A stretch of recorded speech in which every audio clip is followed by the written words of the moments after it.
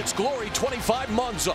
Lightweight legend Giorgio Petrosyan returns to the ring on home soil, determined to claim a crucial comeback victory over his opponent, Josh Jauncey. Jauncey will be keen to claim the scalp of one of the all-time greats. Plus, the Glory Lightweight World title is on the line as Robin Van Roosmalen prepares to defend his title against Thai sensation Sitachai Sinsong Pinong.